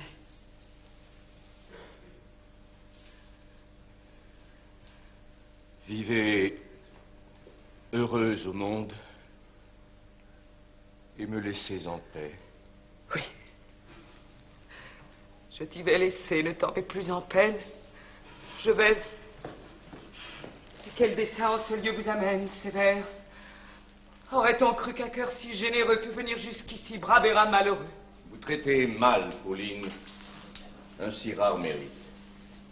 À ma seule prière, il rend cette visite. Je vous ai fait, Seigneur, une incivilité que vous pardonnerez à ma captivité. Possesseur d'un trésor dont je n'étais pas digne, souffrez avant ma mort que je vous le résigne. Et laisse la vertu la plus rare à nos yeux qu'une femme jamais put recevoir des cieux aux mains du plus vaillant et du plus honnête homme qu'ait adoré la terre et qu'ait vu naître Rome. Vous êtes digne d'elle, elle est digne de vous. Ne la refusez pas de la main d'un époux. S'il vous a désunis, sa mort vous va rejoindre. Qu'un feu, jadis si beau, n'en devienne pas moindre. Rendez-lui votre cœur et recevez sa foi. Vivez heureux ensemble et mourrez comme moi. C'est le bien qu'à tous deux Polyeucte désire.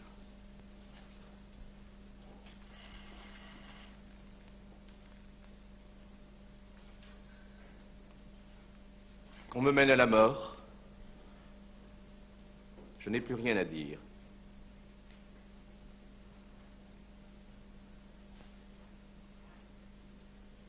Allons, garde.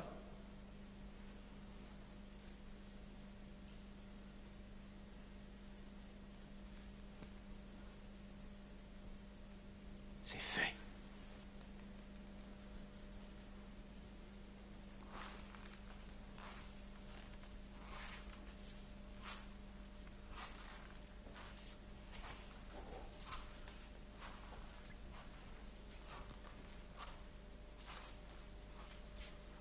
Dans mon étonnement, je suis confus pour lui son aveuglement. Sa résolution a si peu de pareil qu'à peine je me fie encore à mes oreilles. Un cœur qui vous chérit, mais quel cœur assez bas aurait pu vous connaître et ne vous chérir pas? Un homme aimé de vous, sitôt qu'il vous possède, sans regret, il vous quitte.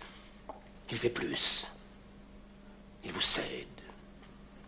Et comme si vous faisiez être un don fatal, il en fait un présent lui-même à son rival. Certes, où les chrétiens ont d'étranges manies, où leurs félicités doivent être infinies, puisque pour y prétendre, ils osent rejeter ce que de tout l'Empire il faudrait acheter. Pour moi, si mes destins un peu plus tôt propices eussent de votre hymen honoré mes services, je n'aurais adoré que l'éclat de vos yeux. J'en aurais fait mes rois. J'en aurais fait mes dieux. On m'aurait mis en poudre, on m'aurait mis en cendre avant que... Prisons-la. Je crains de trop entendre. Et que cette chaleur qui sent vos premiers feux ne pousse quelque suite, indigne de tous deux. Vers, connaissez Pauline tout entière. Mon Polyeucte touche à son heure dernière. Pour achever de vivre, il n'a plus qu'un moment. Vous en êtes la cause, encore qu'innocemment. Je ne sais si votre âme à ses désirs ouverts aurait osé former quelque espoir sur sa perte. Mais sachez qu'il n'est point de si cruel trépas ou d'un front assuré je ne porte mes pas. Qu'il n'est point aux enfers d'horreur que je n'endure. Plutôt que de souiller une gloire si pure, que d'épouser un homme après son triste sort qui de quelque façon soit cause de sa mort. Et si vous me croyez d'une âme si peu saine, l'amour que j'eus pour vous tournerait tout en haine. Vous êtes généreux. Soyez-le jusqu'au bout. Mon père est en état de vous accorder tout, il vous craint. Et j'avance encore cette parole que s'il perd mon époux, c'est à vous qu'il l'immole. Sauvez ce malheureux. Employez-vous pour lui, faites-vous un effort pour lui servir d'appui. Oh, je sais que c'est beaucoup que ce que je demande, mais plus l'effort est grand, plus la gloire en est grande. Conserver un rival dont vous êtes jaloux, c'est un trait de vertu qui n'appartient qu'à vous. Et si ce n'est assez de votre renommée, c'est beaucoup qu'une femme autrefois tant aimée et dont l'amour peut-être encore vous peut toucher doivent à votre grand cœur ce qu'elle a de plus cher. Souvenez-vous enfin que vous êtes sévère.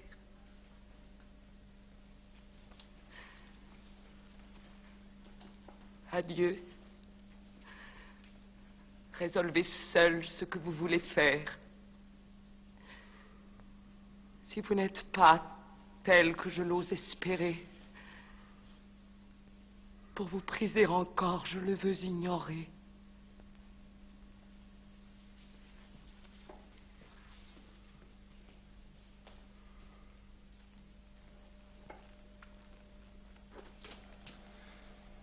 Ceci, Fabien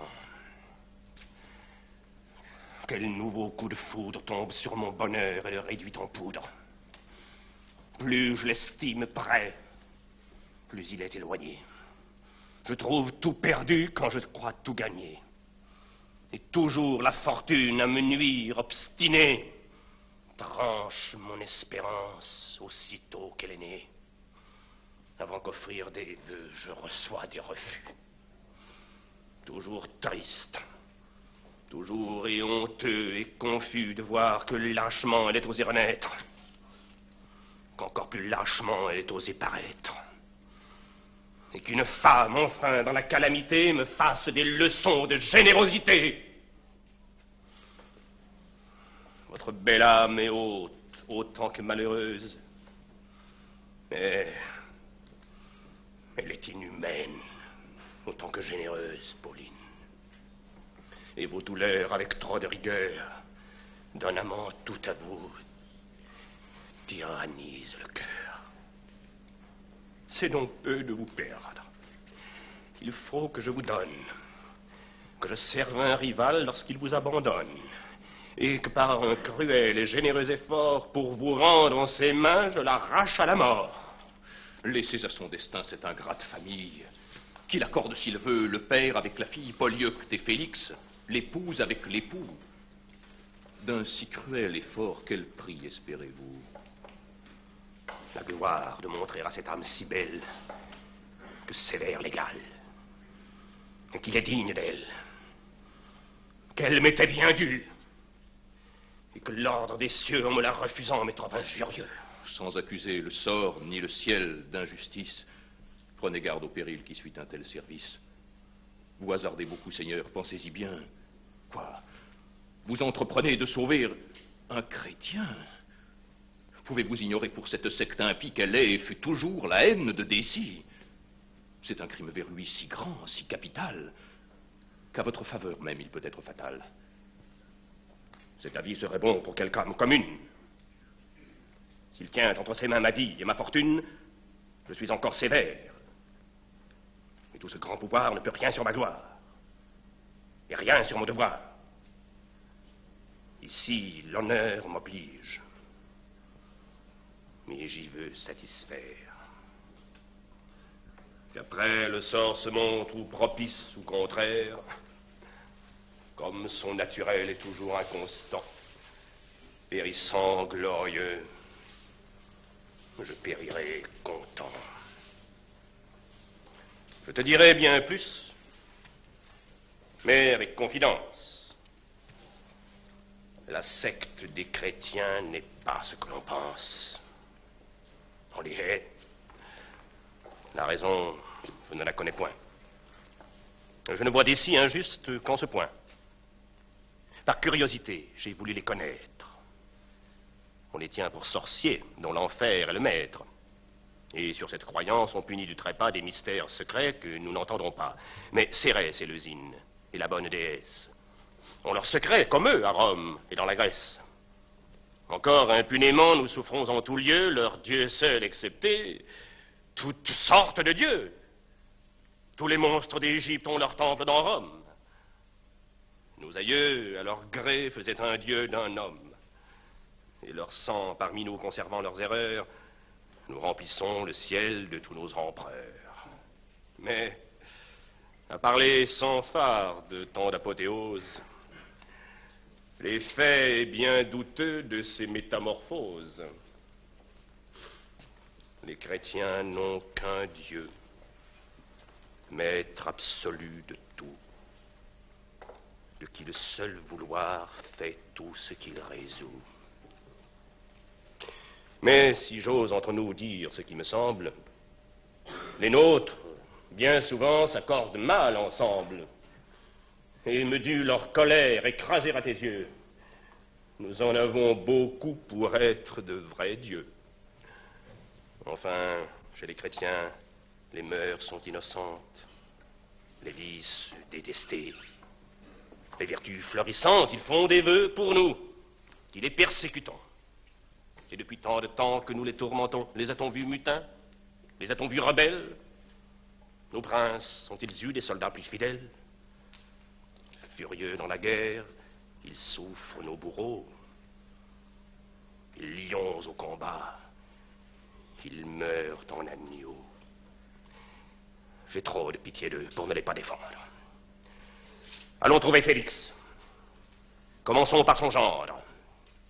Et contentons ainsi d'une seule action, et Pauline, et ma gloire et ma compassion.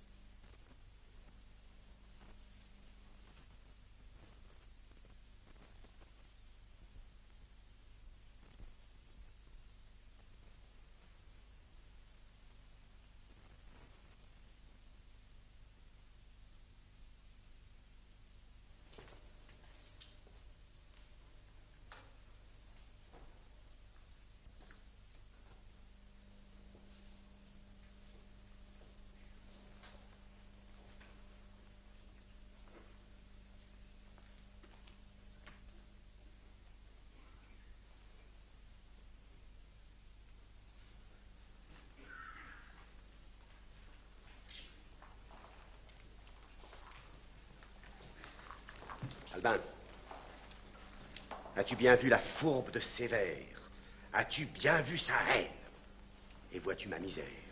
Je n'ai rien vu en lui qu'un rival généreux, et ne vois rien en vous qu'un père rigoureux. Que tu discernes mal le cœur avec la mine. Dans l'âme, il hait Félix et dédaigne Pauline. Et s'il l'aima jadis, il estime aujourd'hui les restes d'un rival trop indigne de lui. Il parle en sa faveur, il me prie, il menace, et me perdra, dit-il, si je ne lui fais grâce. Tranchant du généreux, il croit m'épouvanter. L'artifice est trop lourd pour ne pas l'éventer. Je sais des gens de cour quelle est la politique. J'en connais mieux que lui la plus fine pratique. C'est en vain qu'il tempête et feint d'être en fureur. Je vois ce qu'il prétend auprès de l'empereur. De ce qu'il me demande, il m'y ferait un crime. Épargnant son rival, je serais sa victime. Et s'il avait affaire à quelque maladroit, le piège est bien tendu, sans doute. Il le perdrait. Mais un vieux courtisan est un peu moins crédule. Il voit quand on le joue et quand on dissimule. Et moi, j'en ai tant vu de toutes les façons qu'à lui-même, au besoin, j'en ferai des leçons. Dieu, que vous vous gênez par cette défiance. Pour subsister en cour, c'est la haute science. Quand un homme, une fois, a droit de nous haïr, nous devons présumer qu'il cherche à nous trahir. Toute son amitié nous doit être suspecte. Si Polyeucte enfin abandonne sa secte, quoique son protecteur est pour lui dans l'esprit, je suivrai hautement l'ordre qui m'est prescrit. Grâce, grâce, Seigneur, que Pauline l'obtienne. Celle de l'empereur ne suivrait pas la mienne. Et loin de nous tirer de ce pas dangereux, ma bonté ne ferait que nous perdre tous deux. Mais Sévère promet. Albin, je m'en défie et connais mieux que lui la haine de Dessir. En faveur des chrétiens, s'il choquait son courroux, lui-même, assurément, se perdrait avec nous. Je veux tenter pourtant encore une autre voie. Amenez Polyeucte. Et si je le renvoie, s'il demeure insensible à ce dernier effort, au sortir de ce lieu, qu'on lui donne la mort. Votre ordre est rigoureux. Il faut que je le suive, si je veux éviter qu'un désordre n'arrive. Je vois le peuple ému pour prendre son parti. Et toi-même, tantôt, tu m'en as averti. Dans le zèle pour lui qu'il fait déjà paraître, je ne sais si longtemps j'en pourrais être maître. Peut-être dès demain, dès la nuit, dès ce soir. J'en verrai des effets que je ne veux pas voir. Et sévère aussitôt, courant à sa vengeance, m'irait calomnier de quelque intelligence. Il faut rompre ce coup qui me serait fatal. Que tant de prévoyance est un étrange mal. Tout vous nuit, tout vous perd, tout vous fait de l'ombrage. Mais voyez que sa mort mettra ce peuple en rage, que c'est mal le guérir que le désespérer. Enfin, après sa mort, il voudra murmurer. Et s'il ose venir à quelque violence, c'est affaire à céder deux jours à l'insolence. J'aurais fait mon devoir, quoi qu'il puisse arriver. Mais Polyeucte vient. Tâchons à le sauver.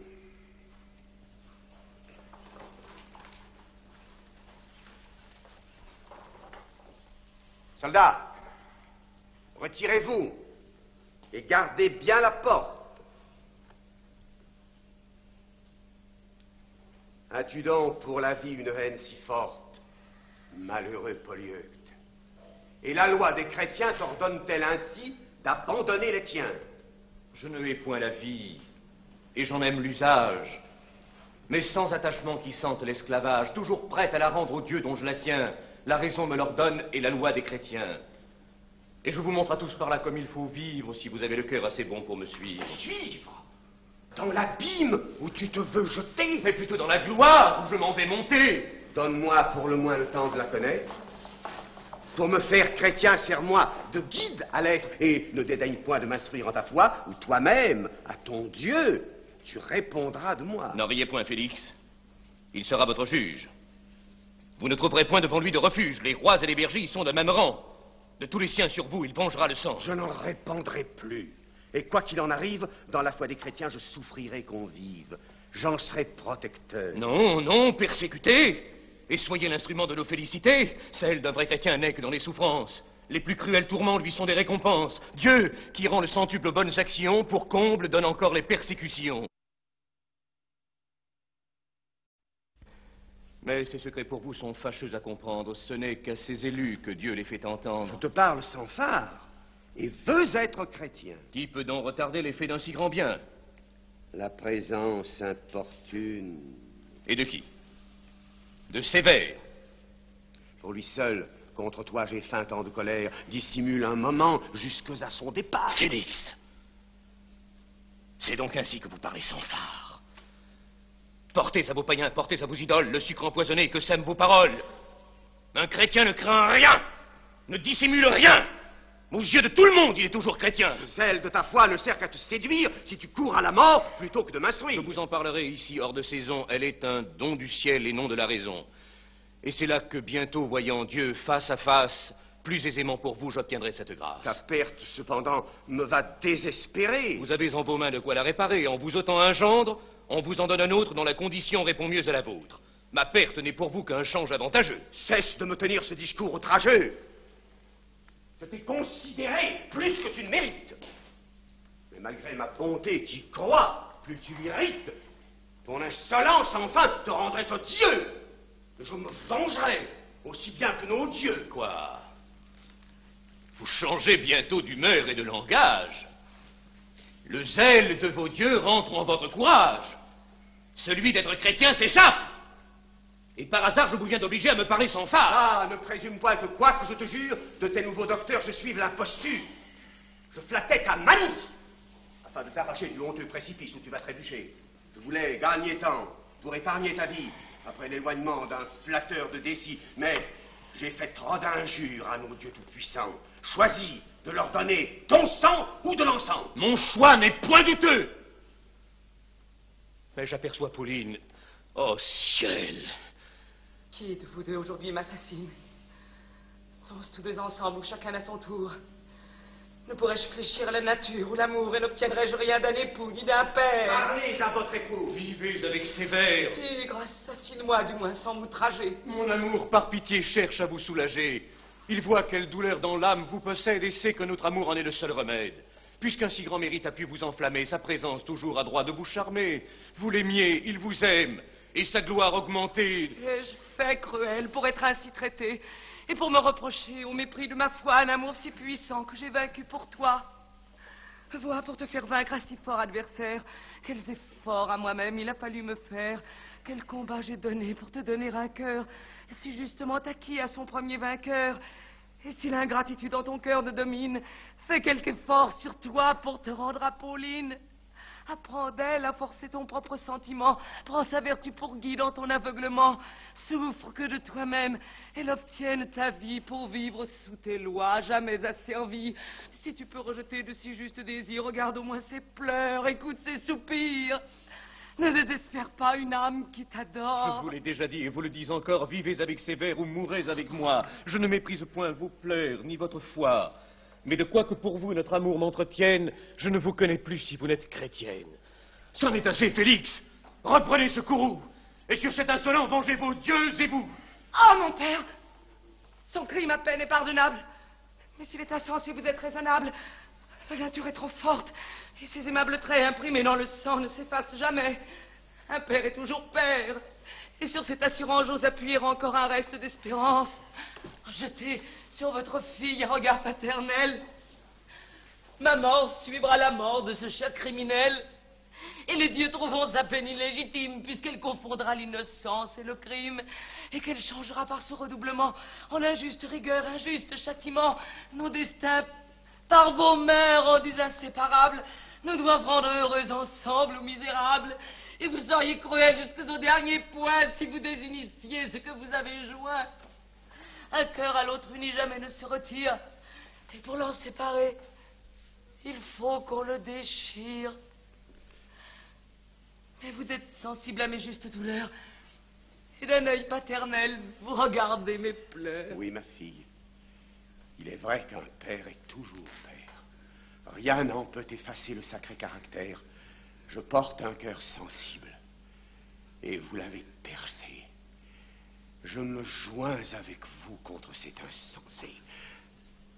Malheureux Polyeucte, es-tu seul insensible? Et veux-tu rendre seul ton crime irrémissible? Peux-tu voir tant d'amour d'un cœur si détaché? Peux-tu voir tant de pleurs sans en être touché? Ne reconnais-tu plus ni beau-père ni femme sans amitié pour l'un et pour l'autre sans flamme Pour reprendre les noms et de gendre et d'époux, veux-tu nous voir tous deux embrasser tes genoux Que tout cet artifice est de mauvaise grâce. Après avoir deux fois essayé la menace, après m'avoir fait voir Néarque dans la mort, après avoir tenté l'amour et son effort, après m'avoir montré cette soif du baptême pour opposer à Dieu l'intérêt de Dieu même, vous vous joignez ensemble. Oh, ruse de l'enfer Faut-il tant de fois vaincre avant que triompher Vos résolutions usent trop de remises. Prenez la vôtre, enfin, puisque la mienne est prise. Je n'adore qu'un Dieu, maître de l'univers, sous qui tremble le ciel, la terre et les enfers. Un Dieu qui, nous aimant d'une amour infini, voulut mourir pour nous avec ignominie, et qui, par un effort de cet excès d'amour, veut pour nous en victime être offert chaque jour. Mais j'ai tort d'en parler à qui ne peut m'entendre. Voyez l'aveugle erreur que vous osez défendre. Des crimes les plus noirs, vous souillez tous vos dieux. Vous n'en punissez point qui n'est son maître aux cieux la prostitution, l'adultère, l'inceste, le vol, l'assassinat et tout ce qu'on déteste, c'est l'exemple qu'à suivre offrent vos immortels. J'ai profané leur temple et brisé leurs autels. Je le ferais encore si j'avais à le faire, même aux yeux de Félix, même aux yeux de Sévère, même aux yeux du Sénat, aux yeux de l'empereur. Enfin, ma bonté cède à ma juste fureur. Adore-les ou meurs. Je suis chrétien. Adore-les, te dis-je, ou renonce à la vie. Je suis chrétien. Les Oh, cœur trop obstiné Soldats, exécutez l'ordre que j'ai donné Vous le conduisez À la mort Mémoire Chère Pauline, adieu, conservez ma mémoire. Je te suivrai partout et mourrai si tu meurs Ne suivez point mes pas ou quitter vos erreurs. Au long de mes yeux, et que l'on m'obéisse Puisqu'il aime à périr, je consens qu'il périsse.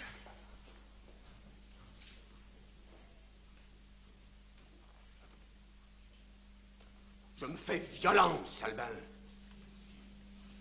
Mais je l'ai dû. Ma bonté naturelle aisément m'eût perdu. Que la rage du peuple à présent se déploie. Que sévère en fureur tonne, éclate, foudroie. M'étant fait cet effort, j'ai fait ma sûreté. Mais n'es-tu pas surpris de cette dureté? Vois-tu, comme les siens, des cœurs impénétrables et des impiétés à ce point exécrables? Du moins, j'ai satisfait mon esprit affligé. Pour amollir son cœur, je n'ai rien négligé, j'ai faim même à tes yeux des lâchetés extrêmes. certes, sans l'horreur de ces derniers blasphèmes qui m'ont rempli soudain de colère et d'effroi, j'aurais eu de la peine à triompher de moi. Vous maudirez peut-être un jour cette victoire qui tient je ne sais quoi d'une action trop noire.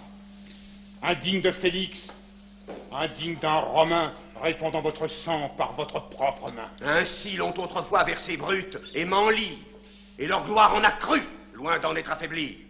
Et quand nos vieux héros avaient de mauvais sang, ils eussent, pour le perdre, ouvert leur propre flanc. Votre ardeur vous séduit, et quoi qu'elle vous dit, quand vous la sentirez une fois refroidie, quand vous verrez Pauline et que son désespoir, par ses pleurs et ses cris, saura vous émouvoir. Il me fait souvenir qu'elle a suivi ce traître et que le désespoir qu'elle fera paraître de mes commandements pourra troubler les faits. Va donc, cours y mettre ordre et voir ce qu'elle fait.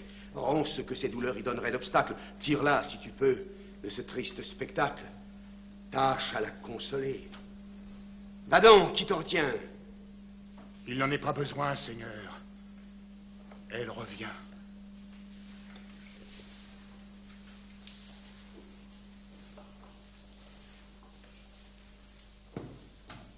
Père,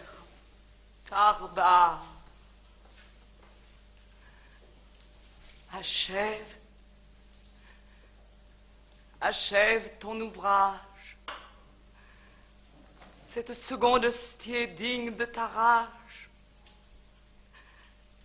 Joins ta fille à ton gendre, ose que tardes-tu? Tu vois le même crime ou la même vertu, ta barbarie en elle a les mêmes matières. Mon époux, en mourant, m'a laissé ses lumières. Son sang, dont tes bourreaux viennent de me couvrir, m'a dessillé les yeux et me les vient d'ouvrir. Je vois, je sais, je crois. Je suis désabusée. De ce bienheureux sang, tu me vois baptisée. Je suis chrétienne, enfin. N'est-ce point assez dit? Conserve en me perdant ton rang et ton crédit. Redoute l'empereur, appréhende sévère. Si tu ne veux périr, ma perte est nécessaire. Polyeucte m'appelle à cet heureux trépas. Je vois Néarque et lui qui me tendent les bras. Mène, mène-moi voir tes dieux que je déteste. Et n'en ont brisé qu'un, je briserai le reste. On m'y verra braver tout ce que vous craignez. Ces foudres impuissants quand leurs mains vous peignez, et saintement rebelles aux lois de ma naissance, une fois envers toi manqué d'obéissance, ce n'est point ma douleur que par là je fais voir. C'est la grâce qui parle, et non le désespoir. Le faut-il dire encore, Félix? Je suis chrétienne, affermie par ma mort ta fortune et la mienne. Le coup à l'un et l'autre en sera précieux, puisqu'il t'assure en terre, en m'élevant aux cieux.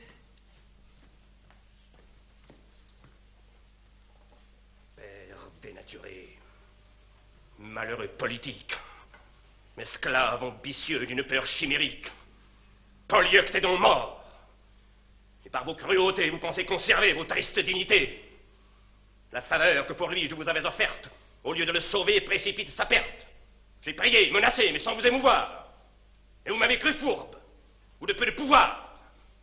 Eh bien, à vos dépens, vous verrez que Sévère ne se vante jamais que de ce qu'il peut faire.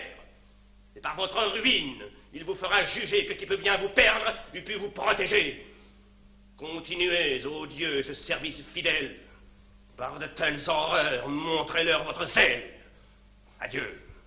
Mais quand l'orage éclatera sur vous, ne doutez point du bras dont partiront les coups. Arrêtez-vous, Seigneur. Et d'une âme apaisée, souffrez que je vous livre une vengeance aisée. Ne me reprochez plus que par mes cruautés je tâche à conserver mes tristes dignités. Je dépose à vos pieds l'éclat de leur faux lustre. Celle où j'ose aspirer est d'un rang plus illustre. Je m'y trouve forcé par un secret pas.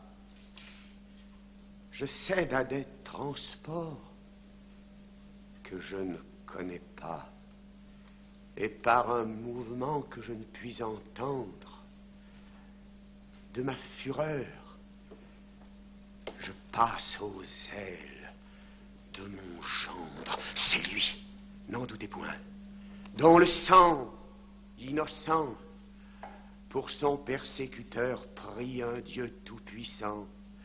Son amour épandu sur toute la famille tire après lui le père, aussi bien que la fille. J'en ai fait un martyr. Sa mort me fait chrétien. J'ai fait tout son bonheur. Il veut faire le mien. C'est ainsi qu'un chrétien se venge et se courrouce. Heureuse cruauté dont la suite est si douce. Donne la main, Pauline apportez des liens. Immolez à vos dieux ces deux nouveaux chrétiens, je le suis. Elle l'est. Suivez votre colère. Qu'heureusement, enfin, je retrouve mon père.